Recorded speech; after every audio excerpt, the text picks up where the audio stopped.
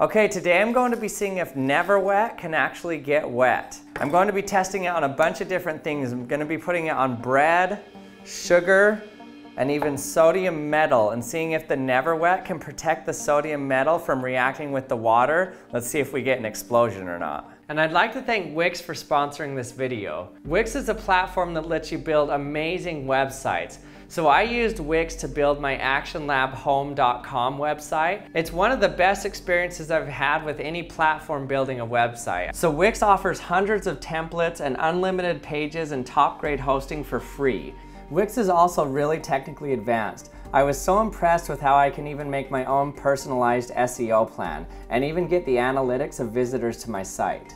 So the website I built is called theactionlabhome.com. So this is a site that I built so that you can learn a little bit more about me. So I talk a little bit about my history in chemical engineering, my PhD, you can even read my dissertation if you want, and my subscription box that I'm working on, and a few other projects like my books that I'm writing. So when making this site, I was very impressed by how creative I could be with the website, and also how professional it turned out in the end. You can see with the Wix editor, you can easily move things around, change anything you want, and customize it any way you want. There are also a ton of other Wix features I can't wait to try out, like Wix Video.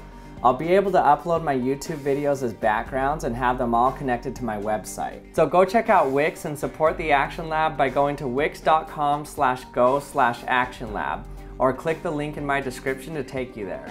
Okay, so I have here a paper towel. So normally when I pour water on a paper towel, obviously the paper towel is designed to attract the water. And the reason that cellulose attracts water is because it has these small groups of oxygen hydrogen. And the oxygen likes to pull electrons towards it more, and so it leaves a slight positive charge on the hydrogen a slight negative charge on the oxygen.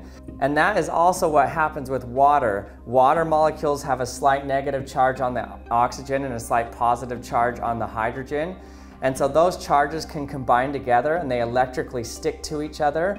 And so it makes the water want to stick to the cellulose. And because it wants to stick to the cellulose and it has a bunch of tiny little pores in it, there's a lot of surface area to stick to and so it easily absorbs the water.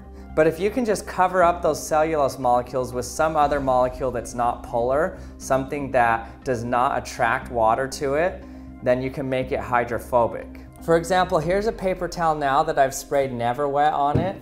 Now watch what happens when I pour the water on it. So it just forms this bubble on top of it. So the water cannot absorb into the paper towel at all. It's because those OH groups are blocked, so there's nothing attracting the water. And since the water is attracted to itself, it stays in this little ball on top of it. And it slightly flattens out because gravity is pushing it down. So we call this water repellent, but what's interesting is that the water's not being repelled. In fact, the water is attracted to itself. The only thing is, is that we've stopped the cellulose from being attracted to the water. And so the water just naturally forms into a ball by itself. And so the more hydrophobic a surface is, the bigger the angle that the water will make off the surface. And what's interesting is what makes surfaces even more hydrophobic is not only if they have a hydrophobic molecule on top of it, but also if there's little tiny bumps on it that keeps air trapped underneath. That makes it super hydrophobic. So Never Wet has hydrophobic molecules that coat the surface, but it also makes tiny little bumps and ridges, and so it makes this super hydrophobic surface. And so what I'm going to do with this today is I want to see what would happen if you put Never Wet on bread. Bread has a bunch of tiny little bumps and air pockets in it, and so I think it would make a really good hydrophobic surface. I want to see if you could actually repel water that's on bread if you spray Never Wet on it. And then I also want to see if you can stop sugar from dissolving because sugar is actually a very polar molecule. And then finally, the true test is I want to see if you spray Never Wet on sodium metal if it will actually stop the metal from reacting with water and stop an explosion from happening. Okay, the bread is done. Now let's see what our sodium does. So I'm gonna scratch off the surface to make sure it's a fresh surface. Okay, I don't think it will react with this, but stand back just to be safe.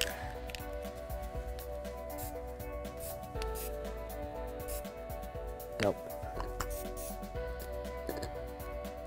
Okay, let's let that dry for a while. Okay, let's spray our sugar.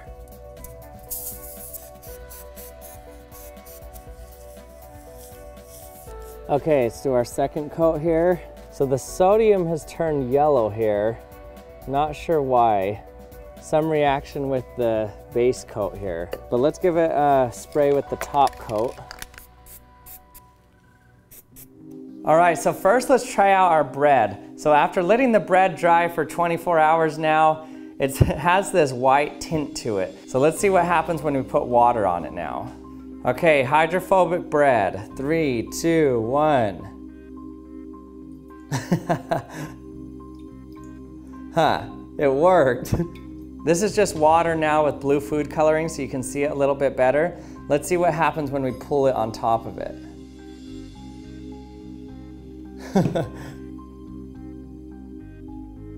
Well, it's getting smaller.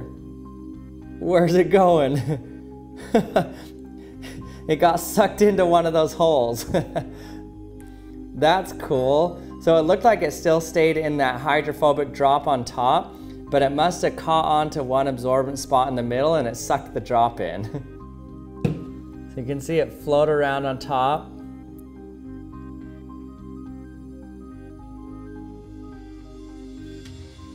It starts to get sucked into one of the holes and then it's gone. Okay, now let's see what happens when we put the whole piece of bread in water. Okay, hydrophobic bread in water. Whoa. It's actually bubbling. Look at all those air bubbles on it. So as it bubbles up, that means the water's going into it. When you see the bubbles coming out of it, you can see it shimmers like that because of the air bubbles trapped in between. So what the hydrophobic surface does is it traps air in between the water and the bread. So it looks like even though the inside of the bread is filling with water, the outside still, still stays really hydrophobic. And so it keeps the bread together.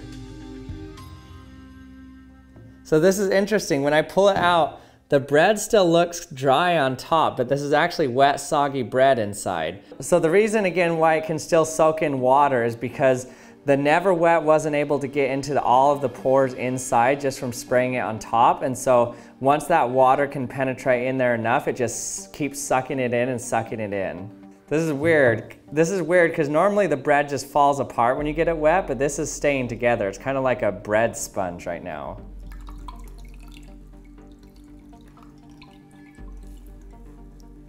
So it still stayed together.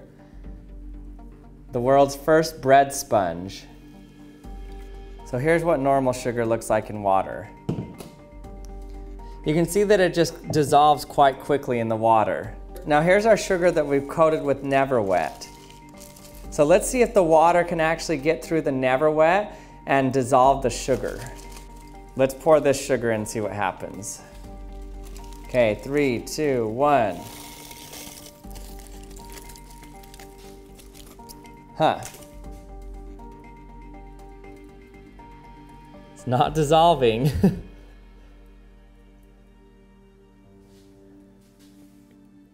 cool. Yeah, it's just floating around like snow. it's just floating around, not dissolving at all.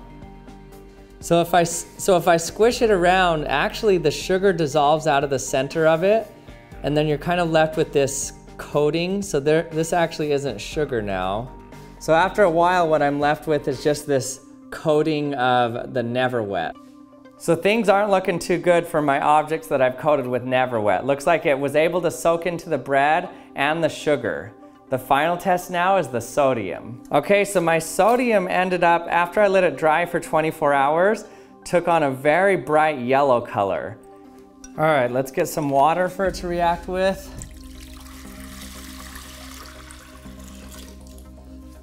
And then I'm gonna be having my brave robot help me. Last time this guy helped me, he sustained some injuries. You can see it got corroded on the front here from some liquid burning sodium hitting the front of it. Let's give it the sodium.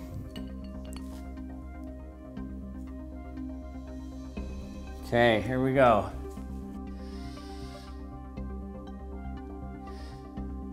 Okay, drop it and run. Hey, it's not exploding. Huh. Uh, uh-oh. See something happening. It's starting to bubble. Uh-oh.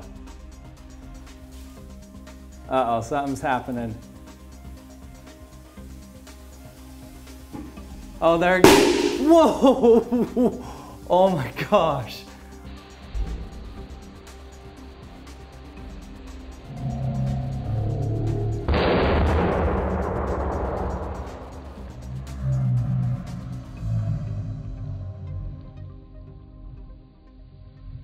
Oh, there. Whoa! Oh my gosh. Holy cow. That was loud. Holy cow. All the molten sodium just shot up at my garage door holder. I gotta wipe that off quickly.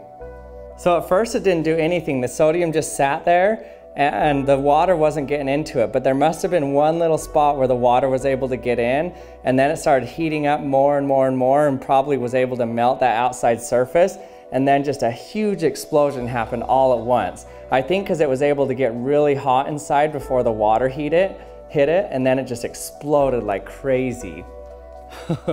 so gotta let the garage air out here.